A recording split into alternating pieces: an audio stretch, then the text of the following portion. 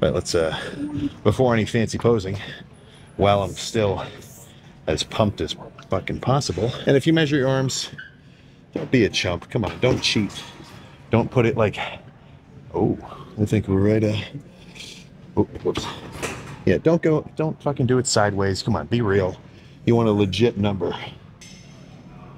Yeah, that's, oh, actually, that's not even as big as it gets. More like right here. All right. There we go.